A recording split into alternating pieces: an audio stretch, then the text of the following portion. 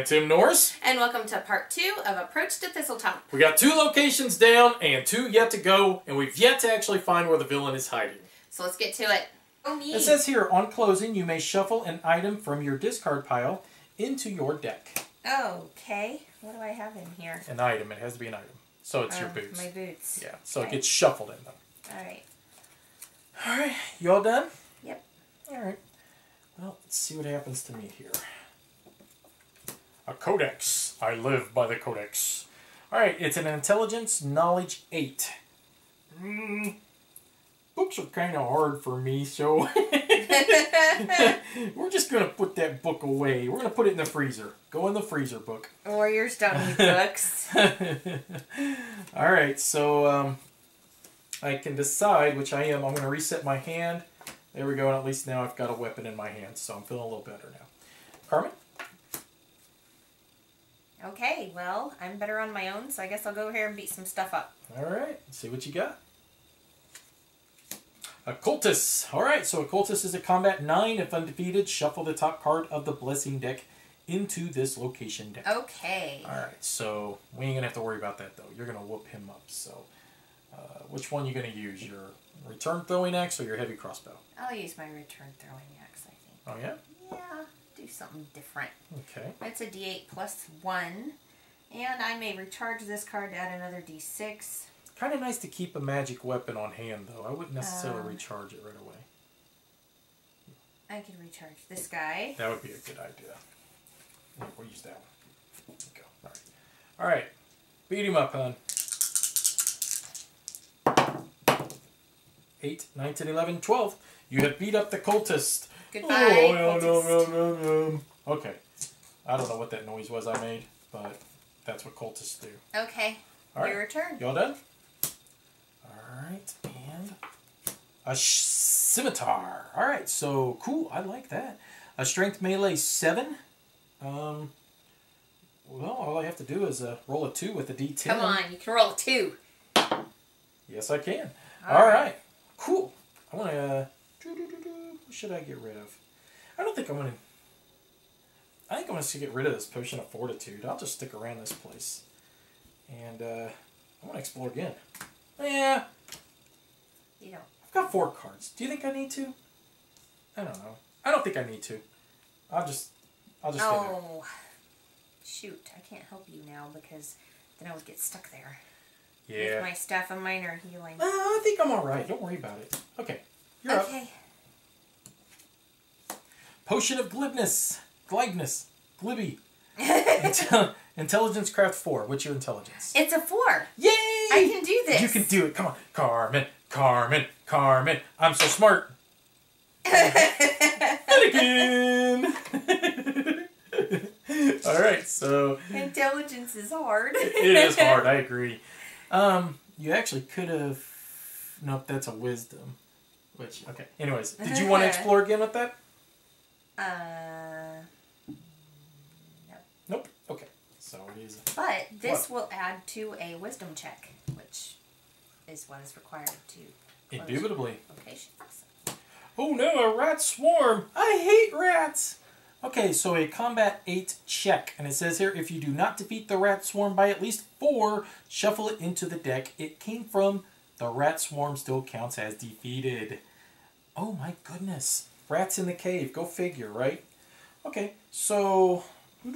I have to beat him by 4. Um, well, that's interesting. I want.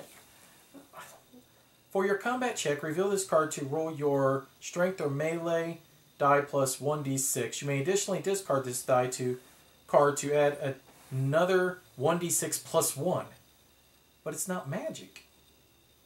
That's kind of funny. The scimitar, I, I think it would be magic for that. Well, regardless, um, I think we will use that. So we're going to do a d10 plus a d6 plus an additional d6 and that'll give me a plus 1 plus my normal 5 so that's a plus 6 so that means I need to roll an 8 right is that right no no no You're an eight. a 6 I need to roll a 6 because I have to beat him by 4 Okay. So I have to roll a six with these, right? Yes. Let's do this. There we go. There you go. Rats. Poison cheese. All right. So, eh, I'm pretty content being done with Okay. that. So you're up. So I still have four cards to draw. So I'm uh. Aldern Foxglove. I am Aldern Foxglove, the most handsome man in town. Banish this card to reduce damage dealt to a character at your location by three. Banish this card to succeed at your check to acquire weapon, armor, item, or spell. Ooh, I like him. cool. He is a charisma diplomacy four. My charisma is a d6. And I have nothing to help me. Well, technically you do. You have Yeah. that, and they could add another d6, but But he gets banished. fifty percent chance. You failed. I failed. And you failed. All right. So are you just uh, done? uh, yeah. All right. Moiten. Looks like we're doing good on the blessing deck. I think so. too. Oh, trapped passageway. This is a wisdom, perception, dexterity, acrobats nine. If defeated, you may immediately explore again. If undefeated, you are dealt two d4 combat damage. That's not good. Oh. Um, so I guess I would just have to use my masterwork tools. Oh, okay. Which means that I recharge this card to defeat a barrier whose highest difficulty to defeat is a 14 or lower. This fits Yes. that. Perfect. So, And now you get another weapon. I, Well, when why you do I get another weapon? when you draw back up. Oh, yeah, yeah, yeah. Which means I also, though, I get to explore again. Oh, so okay. That's what I like more than anything. So, shwink! Whoa, it's him! What you what you want? What you what you want? If you do the win closing here, you can temporarily close this. If I defeat him, this is game. Summon and defeat a goblin, raider, henchman. Okay. Okay, so first off, the bad part is he is in the Goblin Fortress. So that's going to give him a combat 10. Then you're going to have to roll that. Okay, so he's a combat 12 for you to defeat. Okay. All right. Uh, he has no other special things other than if undefeated, bury one item or weapon of your choice from your discard pile. So, all right, hon. Let's see what you got in you. See what you're made of. You can do this. Temporarily close down the Goblin Fortress. I beat Gogo Mert. Gog Mert. Gog. Gog Mert. Why can't people just be named like Bob? Hi, I'm Bob. I'm a goblin. okay. Um, you want me to go all crazy and This, this, very it? well could be game. Uh, why not? And so that'll give you. Oh goodness, yeah. this should definitely. Be you go, girl. All right, so you've defeated him. Yes. So um, nothing else happens here. So this this place is temporarily closed. We'll just put that card on there. All right. So um, says here before the encounter, he deals one d4 minus one fire damage to me. So let's see what happens here. So he deals two fire damage to me. Um, this says here that banish this card to reduce all damage dealt to you to zero. If you are proficient with heavy armors, bury this card instead. Um, even though it's fire damage, I mean, it says all damage. Yep. It doesn't say specifically combat damage, so I believe that I am safe there. All right. So I'll bury that to block that damage. All right, so I need to roll the d4 on him to see what. What? Oh, never mind. Oh, you. you well, I got rid of my, but you don't have to do the one closing because it's Nope. the villain. okay, so he is a plus three on both of his checks. All right. Okay. All right, so uh, he is a combat 13 and then a combat 15. Wow. And all damage dealt to him is fire from him is fire damage. Okay. One, two, three. Okay, he can't kill me. That's the good thing. Maybe I should have kept a blessing for you.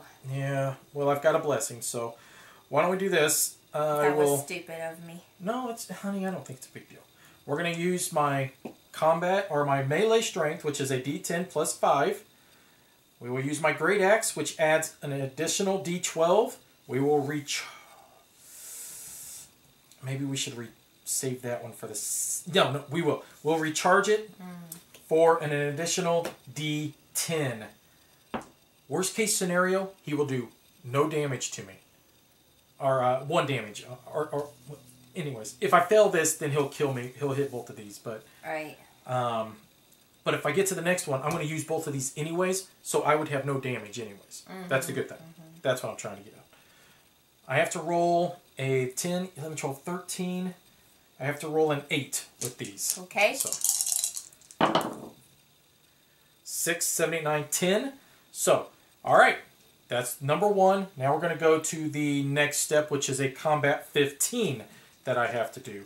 So I will use my d10. I will now use my Blessing of Torag, which will add an additional d10. I will use my longsword, which adds a d8. I will now recharge it for an additional d6. And the good thing is he can't do any damage to me now either, if I fail. But I have to get a 10 with all of this, because I have a natural plus 5. It.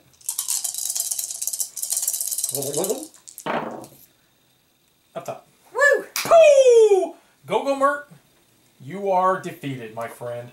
All right, so That's that is it. absolute game. Um, it says here that each character draws a random weapon from the box. So why don't we Oh. just do that real quick here? Come on. Good stuff. Good random weapon. Mm, this one. Okay, and then go ahead. Okay, forget it. All right, what'd you get? Short sword plus one. Okay, and then why don't you go ahead and draw one for me too? Here, draw for from. I want you to draw for from. I want that one right there. Light crossbow. Hey, that's like totally unexciting. All right, so why don't we set this up and uh, we'll see which cards we're going to carry over to the next scenario. Woo! Pow! Okay, so Go Go Merc, the disco champion of the Pathfinder realm, is now defeated. We got in a dance fight and I came out on top. Merisiel really wanted to do that dance fight. No, nobody dances like Valeros. Everybody knows that. Twinkle Toe Valeros. okay, so kind of a cool little setup there, given the fact that you had to close down temporarily the one location, and you Yeah. happen to draw a goblin in the process. And being at the Goblin. Fortress, given the fact the scenario, you know, worked well for goblins, so it's kind of Right. neat. You know? I, mean, it made you nervous, but I tell you Yeah. what, with Merisiel anymore, I'm just like, oh, she can beat up anything. she is awfully powerful and getting better and better as the game progresses. Um, so we end up drawing some pretty interesting weapons. Um, if you stay after the credits, we'll show you which ones we're going to carry over with us to the next scenario. I don't think you had much of anything you took with you, um, but No. I did find a couple of weapons. And speaking of the weapons, the scimitar, I is that a magical weapon? It does say a plus one, and typically that equates to a magical weapon. I found that kind of interesting. Um, so if it is magical, leave a comment below. Let us know. And uh, speaking of that, somebody mentioned that I fought a goblin, the bugbear, Uh, Brochlimosaurus. mhm. and he was supposed to be a goblin, but it was not listed on his card. So Yeah, but you would have whooped him anyways, and, and he even acknowledged that. So excellent. Um, so yeah, that henchman Carmen did fight. You need to write in. He is supposed to be a goblin, just in case if you have that issue in the games you guys play. Oh, okay. So this will be the. We got one more one more. scenario in the burnt offering, And then we're done with burnt offerings. and we're on to the Skinsaw Murder adventure deck. So Skin kind of saw murder. yeah, very exciting. Sounds exciting. Yeah, oh, yeah. Who, who doesn't like skin and who doesn't like saws? Um, and murders! It's gonna be like a Sherlock Holmes mystery or something. so um, I think that's pretty much it. I think we've covered everything. Can you think of anything? I think that's it. All right, so, So we'll see you next time. bye bye. Bye bye.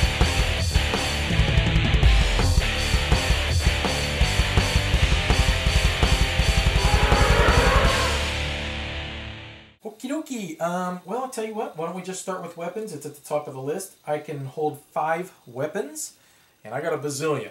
Um, Okay.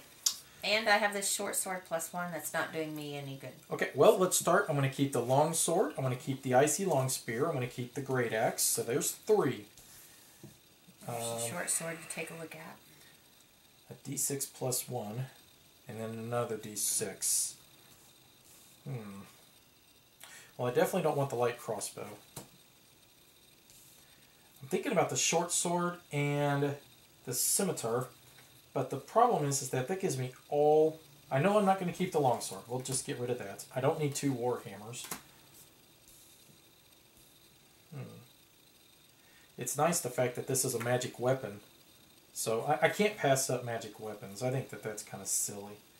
Uh, so do I keep Uh, I, I really think this must be a magic weapon if it's got the plus one. I don't understand. I'm gonna have to look that up. Okay, so here's the thing.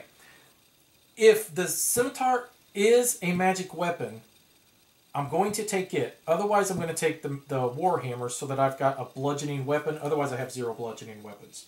So for the moment, I'm going to take the scimitar, and if it's not a magic weapon, I'm going to go back and take the warhammer. Makes sense? Yeah. Okay. How about you? Uh, well, I've got my heavy crossbow and my returning throwing axe, and that's all I can carry. So there you go. Next thing are spells, which neither one of us can hold. Armors. I can hold three armors. Um, I'm just going to do all three of these. The two half plates and the one chainmail.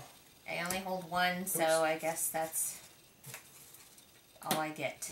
Well, you wouldn't want that sword. What do you got? Magic leather armor? Yeah. Yep. All right. Items. I can hold two items. I definitely don't care to have that stupid token of remembrance. Okay. Um, but I do got a question. This masterwork tools would actually work better for you. Uh, I, I'm more than happy to take your thieves tools in Okay. exchange. Um, and then I would be just totally fine with that. So Okay, well, I'm missing an item. you you used your potion of ruggedness. Yeah. Remember you banished it. So I'm supposed to hold six items, and I only have five. Oh, well, you know what's cool? You get to take um, a basic one back out of the box. And uh, I'm kind of curious, would you do you think it'd be a good idea just to grab another thieves tools then? Regular? Yeah, probably. I don't know. Or, you know, a matic would be good. Something like that. Add 1d8 to your non combat strength check. Strength's kind of low. Yeah, I'll take that. Okay. okay. All right. Next, allies. I've already got my two allies. I've already got my two allies. All right. Next are blessings. I've got my three blessings. Yep, and I've got my four blessings. That's it. All right.